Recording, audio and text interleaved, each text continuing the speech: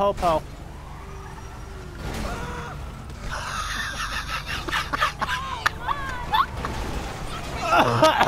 I swear they updated the AI so they're all idiots now.